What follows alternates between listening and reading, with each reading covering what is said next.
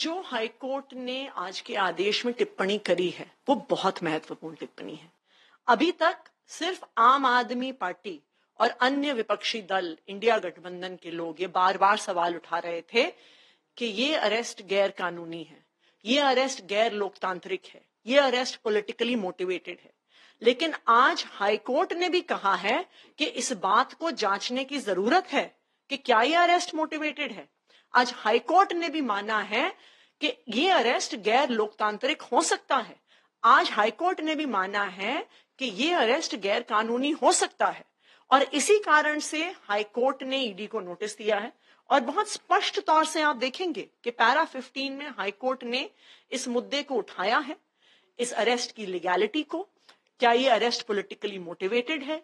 क्या ये arrest election को और डेमोक्रेटिक प्रोसेस को अफेक्ट करने की कोशिश कर रहा है? तो हम हाईकोर्ट के इस फैसले का स्वागत करते हैं कि हाईकोर्ट ने बहुत गंभीरता से इस देश के सामने जो लोकतंत्र के हनन के मुद्दे सामने आ रहे हैं, उनका संज्ञान लिया है और ईडी को बहुत स्पष्ट तौर से कहा है कि दो तारीख तक उनको जवाब देना होगा। दो तारीख के बाद ईडी को समय नहीं मिलेगा और तीन तारीख को ही कोर्ट अपना फाइनल फैसला सुनाएगा। ईडी एक राजनीतिक हथियार है, भारतीय जनता पार्टी का। अगर आप देखिए जो prevention of money laundering act है, ये किस लिए बना था? ये इसलिए बना था कि इस देश में ड्रग ट्रेडिंग ना हो सके, इस देश में आतंकवाद ना हो सके, और उनको रोकने के लिए ये पीएमएलए में इतनी सख्त प्रोविजंस दी गई थी। लेकिन आज जो पीएमएलए का कानून है, उसे ना काउंटर टेररिज्म में यूज़ किया जाता है, ना ड्रग ट्रैफिकिंग रोकने के लिए यूज़ किया जाता है, उसको सिर्फ़ और सिर्फ़ विपक्ष के नेताओं को जेल में भेजने के लिए यूज़ किया जाता है। अगर आप पीएमएलए के कानून को देखें तो उसमें बेल मिलना लगभग असंभव है।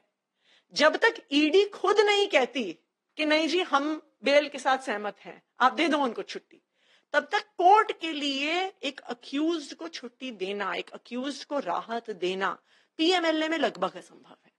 तो इसलिए ये साफ़ है कि कल भी ईडी आके भारतीय जनता पार्टी के राजनीतिक हथियार की तरह फिर से दिल्ली के मुख्यमंत्री अरविंद केजरीवाल जी के लिए कस्टडी मांगेगा?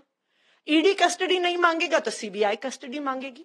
लेकिन हमें इस बात की खुशी है कि हाईकोर्ट ने इस बात का कॉग्निसेंस लिया है कि अरेस्ट की टाइमिंग एक पॉलिटिकली मोटिवेटेड और मैलाफाइड एक्शन दिखा रही है और इसको एग्जामिन करने की ज़रूरत